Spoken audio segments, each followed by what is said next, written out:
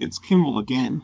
I know I've really lowered the bar in regards to the dignity department. I'm sure this whole spokesman for the murderous elite thing, it does seem like us Hollywood celebrities betrayed our fans. And we did, but as the coal hits and I feel bitter, just remember, it's us lackey for the elite who move into your spot.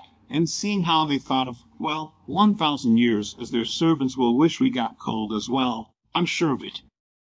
I know we all could have helped Brad and got the good future, but let me assure you, it'll be Dap and I who'll hear about it the most in the post-time elite one bad future. We have just about reached the no-return point, and as you can imagine, Dap will be the preferred choice unless, of course, you are some sadistic, extreme, vile infliction addict who is all but gutted of any spark as the black hole insides feed off misery, so that it'll be us who will need to be bled out rationing our SRA to them for the 1,000 years until the last chance return thing occurs.